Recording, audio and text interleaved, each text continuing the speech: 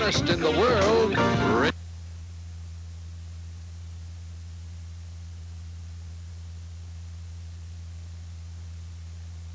Is all that stands between us and total destruction. David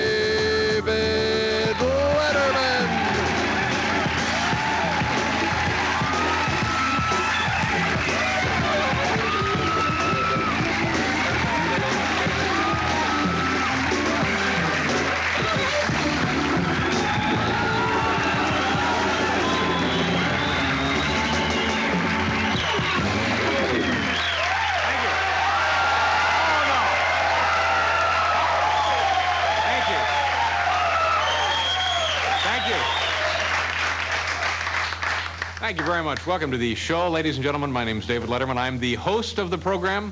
You're in a good mood. I'm in a good mood. We have a wonderful, wonderful show for you tonight.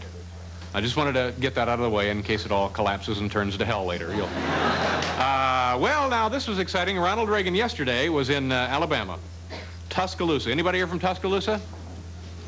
Oh, now I can't do the joke. He was in Tuscaloosa, Alabama, and on his way to the airport, he and the, uh, the, the party, the presidential party, stopped at a McDonald's. Now, this is apparently all true. He went inside and he ordered a, uh, a Big Mac fries and an iced tea. Uh, wanted to get in good with the kids at the place, you know. So uh, uh, then he spends like 45 minutes talking to a guy dressed up like the clown, Ronald McDonald, you know, and, and his, uh, his aides and uh, the bodyguards and everybody growing quite impatient. And they say, you know, uh, truthfully, uh, Mr. President, you should be on your way home so you can prepare for the debate with uh, Walter Mondale. And he says, I was. So.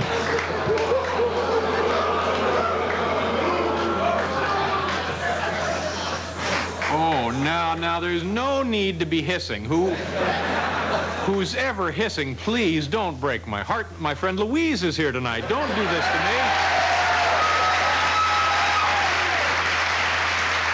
Stand up, Louise.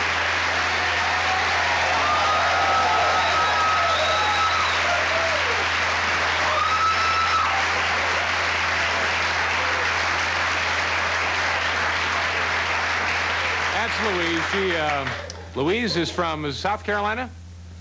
Greenville, South Carolina. You're in town for how long you to here, Louise? A couple of weeks? Just till tomorrow. Two days? And, and Louise is coming out to the house tonight.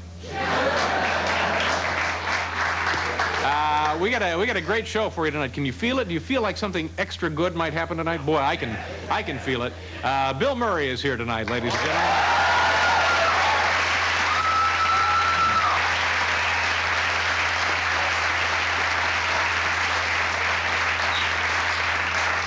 Also, uh, a terrific actor, Harry Dean Stanton, is here tonight. He's. Uh,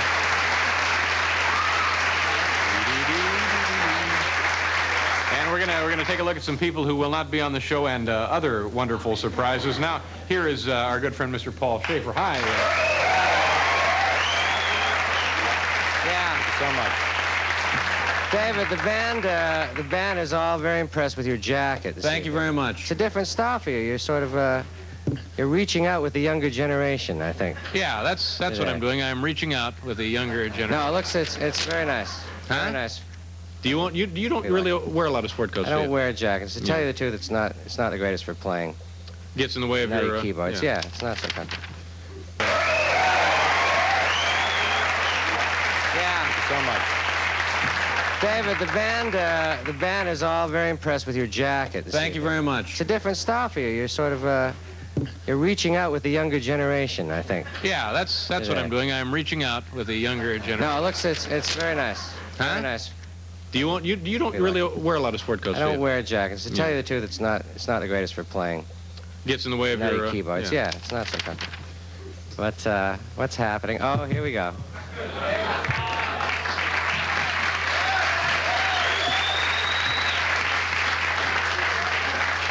I tell you, when this gets applause, you know this country is starved for entertainment. This is our Phil Donahue countdown calendar. Someone's marked it up. Look at that. And um, Phil Donahue is moving his show from uh, Chicago to New York City, and he'll be doing it right here in this very building. And we're counting off the days, and each one of these dates has a little fun fact. Bill, pick somebody out of the audience to answer a fun fact here about Phil Donahue. The lady that you just introduced. All right, Lucy, or Louise. Louise, do you mind standing up? Do you know Phil Donahue as Louise? Yeah, have you, have you ever have you ever seen Phil's program? A couple of times. All right, well, you're just the person we're looking for then. When Phil lived in Centerville, Ohio, who lived right across the street? I'm sorry. Okay, that's it's a, no, it's that's right. That was the answer to last night. Erma Bombeck lived right across the street. I'm sorry, Louise, but we have some lovely parting gifts for you. Oh, look, there's uh, Phil's eye. So Phil will be coming into town uh, before you know it. Okay. Now, uh, Paul, you would think that between you and me, we would know most of what there is to know about popular, contemporary television entertainment show business. You and I, Pretty much. together, Yeah. our collective intellect and knowledge, we would have it covered. Sure, we would I would say so, yes. at least heard of what makes up the mainstream of popular entertainment. I've heard of a lot of the Yeah. performers. I try to keep up. I mean, I Well, know uh, a couple of well. months ago, I was uh, sitting at home watching my uh, expensive and elaborate cable TV system. And uh, I was watching, I think, uh, one Saturday afternoon, a show called Fishing with Orlando. And um, there was a commercial on uh, for a piano player.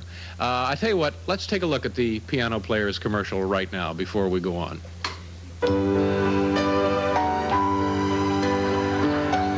This famous star is considered the most popular pianist in the world. He's already sold 27 million records and won 121 gold records.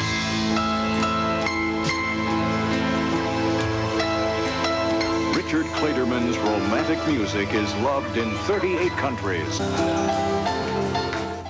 Okay, Richard Clayderman, ladies and gentlemen. Now,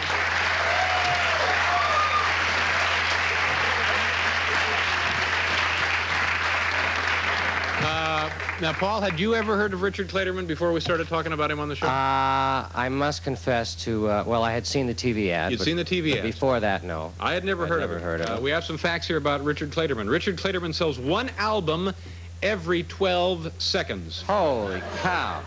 Uh, Richard Clayderman once worked as a bank clerk, not unlike T.S. Eliot. In the six years since he has been recording professionally, listen to this, Richard Clayderman has sold over 35 million records worldwide. Uh, in France, Richard Clayderman sold 2,800,000 albums in one afternoon. No, no, in one year. In one year. Uh, this is an unequaled record. In Norway, in Norway, Richard Clayderman's sales are so great, it is claimed that you will find a Clayderman album in half of the country's households. Well, I had never heard of Richard Clayderman, and uh, apparently many of you here are perhaps not uh, intimately familiar with the artist. But this one statistic sort of caught our eye, the fact that in Norway, you will find a Clayderman album in half the country's households. So what we thought we would do tonight is get a, a person out here to interpret for us and then phone Norway to see if we can't locate one of these albums. Now, ladies and gentlemen, to translate for us, the Assistant General Manager of the Norwegian American Chamber of Commerce, Inger Talekson. Inger?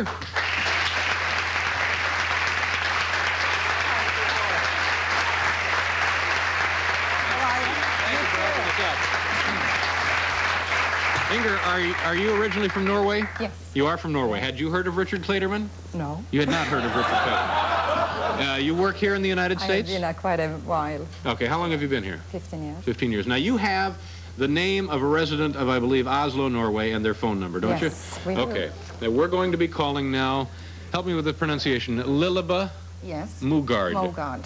Mogard. Mogard, yes. Lilleba Mogard. Now, uh, how did we find this name and phone number? Well, she is the mother of one of the secretaries at the Norwegian Trade Commission. Okay, but she, she is a resident of Oslo. Oh, yes. She doesn't know that we're going to call and ask about Richard Clayderman. No. She knows nothing about any of this except that uh, we're going to call We're her. going to call her. Okay, this is not a shill. You don't work with her. You don't travel around the country reading minds or any of that. No, no, no, no. Okay, and, and you're going to do all of the interpretation for us, Yes. right? Uh, uh, Norwegian is a very different language, isn't it? Well, uh, Spanish is a different. What am I saying? It's a Germanic language. It is a Germanic mm-hmm. language. Mm-hmm. Okay, all right. Let me let me dial, and then you'll do the talking, and we'll just see if this woman knows knows Richard Clayderman, who, by the way, is on the show tonight, or, or maybe not. No. All right, this is a very long number. You can direct dial to Norway, correct? Yes. Thank you. Okay, I only hope we've got all the numbers. Now, you do the talking. We're going to speak to Lilleba. You want me to speak in Norwegian? Speaking... Oh, yeah, Well, what- originally. I mean, Do what? I, I will speak to her in Norwegian. Good idea. Yes. she may know some See, if it, if it was English, there's no point in you being here because uh, Oh, but I can handle the English. Okay. Hallo? hallo? Oh, we have somebody there. Hallo, er det Lilleba? Ja? Ja, hallo. Nå ringer vi fra The David Letterman Show. Ja, er, er, hallo dere, da. er dere klare? Ja, vi er klare. Ja, they are did- ready to answer Oh, they're ready to answer. questions, Well, ask what time it is in Norway. Eh, Hvor mye er klokka nå i Norge? Eh, Den er eh, kvart på elleve. It's uh, 10.45 10:45. p.m. Was she getting ready to go to bed? Eh, skal du, dere skal ikke legge dere ennå, skal dere det? Å å nei da, disse venninnene mine de bor eh, ute i Bærum, de, så de skal nå kjøre bil hjem nå, da. Etterpå. Uh, she has a lot of girlfriends visiting tonight for a knitting. she has a knitting club And- meeting. oh, a knitting club. Yes. And this will probably go on, what, till dawn? Uh, no, midnight at least. Midnight at least. How many how many women are over there? Hvor mange er på besøk hos dere? Det er fire stykker. Eh, Eh, for- Det er fem med meg. Ja, eh, det er fire. Det er språk. five of the Uh, hostess. five and a hostess. Are Yes. they drinking? Drikker dere? Ja, det er jo litt vanskelig. De, ja, vi sitter i samme rom, så jeg skal nå prøve å gjenta det du sier. Ja, ja litt, Skjønner hva det er. eh, A litt sherry, vel? Litt sherry, kanskje? Nei, du, det gjør vi ikke, fordi de kjører bil, da, vet du. Jeg har tilbudt dem en Campari, men eh, de skal kjøre No, bil, så det går they're ikke not an. drinking. They're not because of the strict uh, driving and drinking laws in Norway. Oh, so th- well, that's a good Yeah. idea. Yes. Okay, uh, let's get right down to business. Ask her uh, if she enjoys uh, contemporary music. Eh, liker dere populær musikk? Ja, det gjør vi. Vi liker populær musikk, ja. Ja. Uh, ask her if she has a favorite clarinetist. No, don't ask her that. We get we're in a big hurry here. Um, ask her if she, uh, just ask her if she knows who Richard Clayderman is. ja. Kjenner dere Richard Clayderman? Nei, det gjør vi ikke. What if she say? Ja, nei, det gjør vi Oh, she doesn't. Tell her to ask the Eh, group. Richard Clayderman. Ask around. Have her ask around. Richard Clayderman, ja, ja, ja, sies det her. Jo, de kjenner han. They do, do know him. I guess they- my English. she doesn't know him. Du vet, kjenner han ikke? Du? Jo kjen- da, de andre kjenner henne. Ja, og the others, but not her. Oh, well then it's unlikely that she would have an album. Find out if one of those women er has an noen av dere album. som And, har en plate med han? Ja, det er... Og Dagrun sier at hun har en plate med han. Ja, Dagrun. They do have one of the Yes, albums. one of the ladies. Well, that's very Dagrun, has impressive. So that's an like one out of four. At least we've of been. Uh, that's not too bad. All right, and just finally, uh, thank her and ask her if this has been the biggest thrill of her life. Eh, eh, Først og fremst takk fra, eh, Mr. Letterman. Og Mr. er dette Letterman. et Me, av deres of course, største øyeblikk Hva i sier livet? Er dette et av deres største øyeblikk? Jaha. Er det det? Hva sa du? Ja, det er et stort... Vi er veldig spente, og vi synes det var veldig spennende det her, så det er et stort øyeblikk for oss, ja. It's among one of the greatest. Among one of the greatest. Well, we'll certainly accept that. Thank you very much. Um, Inga, thank you very much. You're a delightful woman. I appreciate you uh, Thank you. helping out here. We have to, what do we have to do? Oh, we have to do a commercial, and then uh, we'll meet uh, Bill Murray. So come on back, folks.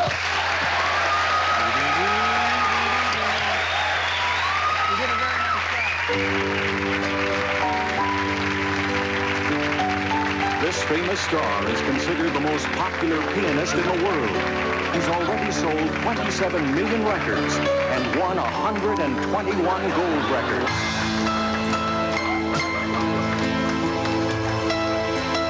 Richard Clayderman's romantic music is loved in 38 countries. It's real butter sprout for the Green Giant's butter sauce. Tasting fresh and buttery. Tasting good as good can be. Butter up their appetite. That green giant goodness really shows tonight. A butter sauce made with real butter is why Green Giant vegetables make every meal special. It makes his vegetables taste better. You mean taste butter.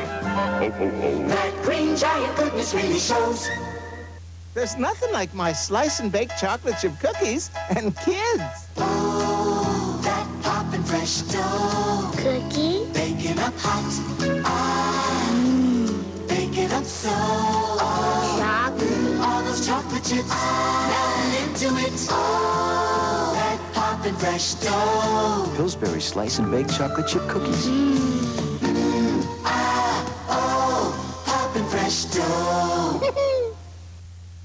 My cousin, Barbara, suffered a brutal death, and I watched as her killer went free on a technicality. That's why I've worked so hard to protect victims, and I've worked equally hard to protect consumers from unfair business practices. I worked to be an attorney general for all the people, and now I need your help. I need your vote. Vote for Attorney General Ken Eikenberry and help him put criminals in their place. Hi, I'm Phil. And I'm Steve. This is Amy. She's looking for a donor for a kidney transplant, and we'd appreciate it if we could find one. But organs aren't all we need. Your generous donations will help all patients throughout the Central Washington State area. All these funds will stay in the Central Washington area to help these patients. So please send your money to the Central Washington Kidney Foundation. Thank, Thank you. you.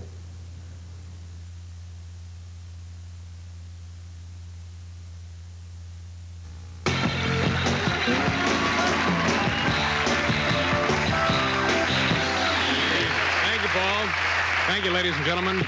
And uh, Richard Clayderman is actually here and will be playing with Paul and our wonderful group of folks over. there. Yeah, all right.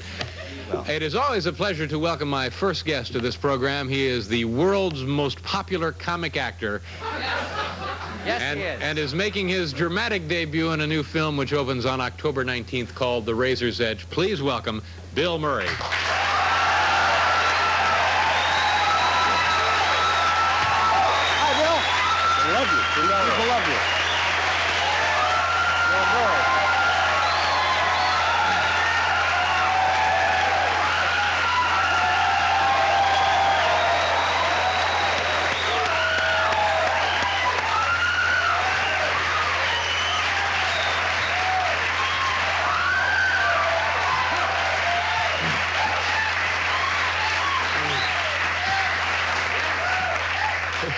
Make you feel good? Yeah. Yeah, they so love you. you. like Louise, huh? Yeah. Not a bad deal. You owe me.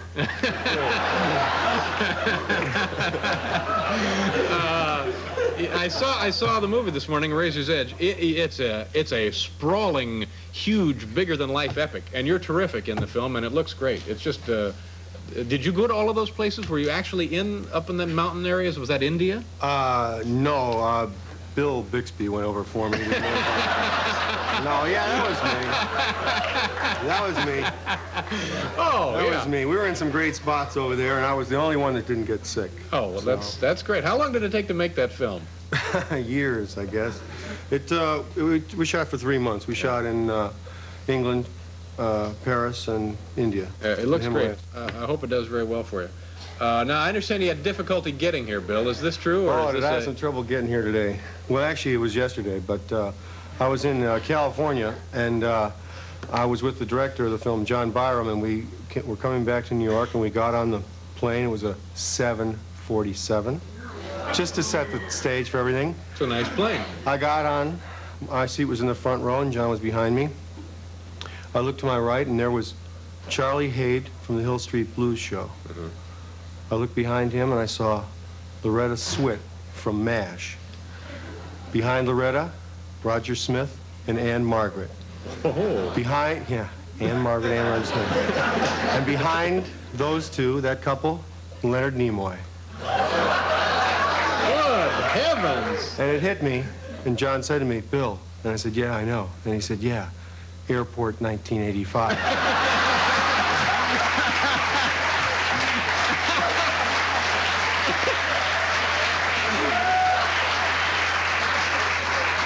We hit some turbulence, and I rang the stewardess bell, and I said, is there a girl on a kidney dialysis machine in the back? I said, no way, we're going down, you know? Yeah. So I started writing letters to everyone I knew, and I asked the pilot if I could put them in the blue box or whatever the heck that thing is. Do you mind uh, flying?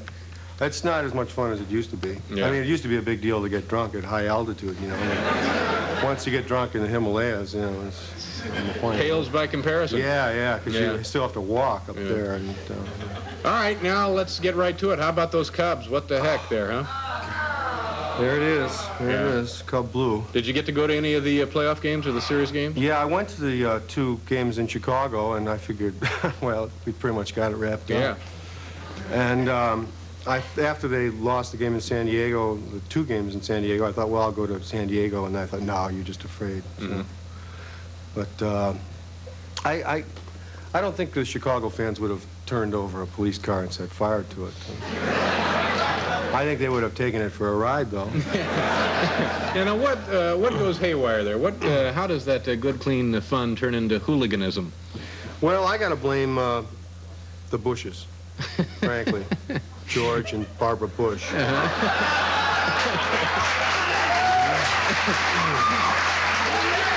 because, I mean, it's one thing to win a world championship in a town in in the Motor City, and you know you've been wanting that world championship, and you've had a great team that's led all the way. But when you get those two together with like 50,000 people who are already up, the sky's the limit. You know, I mean, they really have to be careful about where they go nowadays throwing- because the excitement. gas on a oh fire. Oh my gosh. I mean, if they had been on that plane the other day, Mm-hmm. forget about it, man. It would have been nuts. So they just got to be really careful, especially Barbara, because she's nuts. She, Yeah. She parties pretty hard. she goes crazy. And I'm so excited about four more years of those two together, just to see what, see what they're going to do. It's really like, you know, when the Flintstones had a baby, it's Mm-hmm. that kind of excitement. All right, we're going to do a uh, commercial. We'll be back. Uh, more with Bill Murray.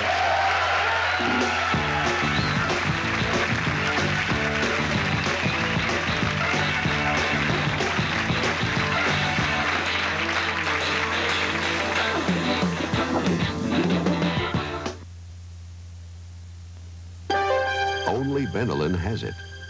Robitussin doesn't. Triaminic doesn't. Neither does any other cough medication. Only Benylin contains diphenhydramine, the exclusive cough suppressant introduced by doctors to over 30 million people. Benylin, same full strength available today without prescription to relieve your cough hour after hour. Benylin from Parke Davis, helping your pharmacist and your doctor help your health. I'll be just a sec. Hey, fish are jumping, buddy. There's more for your life. Just ran in to get what I need, but then I bumped into Harris Tweed.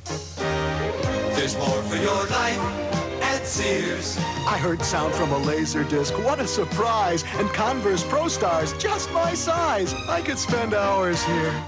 Oh, the guys! There's more for your life Where you been? shopping at Sears. Sunshine on my shoulders makes me happy. UNICEF helps millions of the world's children in their struggle for survival. Children who need food, medicine, and clean water. This is John Denver to remind you that Halloween is National UNICEF Day. Give a child a chance. Give a child a smile. Sunshine almost always makes me smile. When friends don't stop friends from drinking and driving.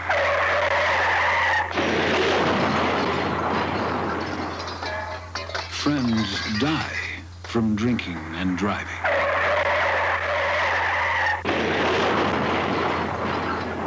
Friends die from drinking and drinking and driving can kill a friendship.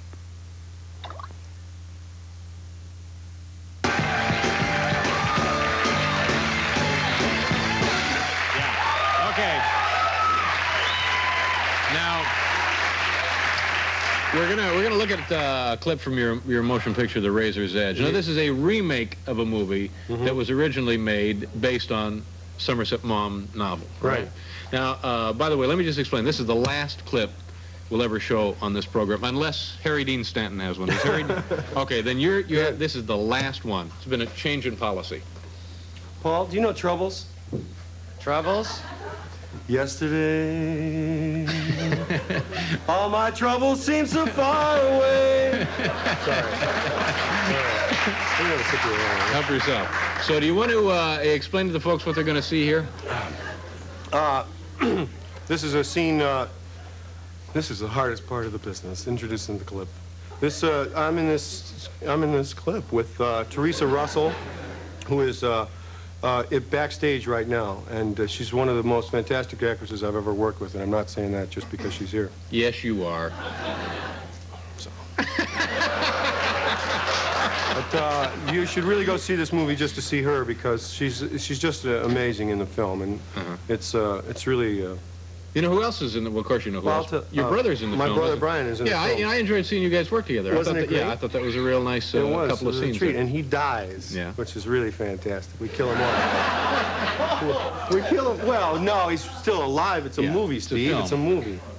all right, so he uh, he dies in the movie though, so Yeah. he got to be drunk all the time because he was dying anyway. uh, Oh, that's a, that's another good scene, but we can't. Uh, people Yeah, haven't seen it. They won't know we're talking about. All right, let's take a look at what we're going to see. Did you want so to tell this them more uh, about this? Yeah, so this is, uh, uh, I'm going off to war, and uh, this is a... Here. I have these printed out for you. Your poems. Oh, this is great. Now I'll have something to read to the guys in the trenches at night. You used to like them. Well, they're good. I always liked the poet.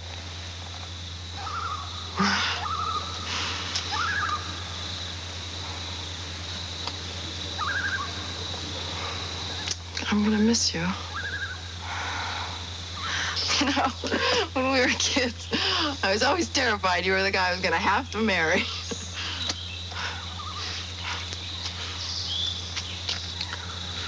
But you just couldn't control yourself, could you? Oh, Bob. Oh, Bob, Bob, don't.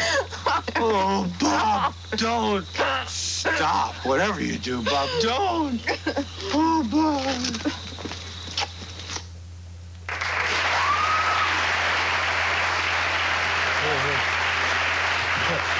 Well, there's, uh, I probably should have told you that that's not the girl that I'm, that she's married to somebody else, and uh, she's already pregnant. She sort of got married hastily, and she was pregnant. So when I said you just couldn't control yourself, it was a joke. Mm-hmm. Right.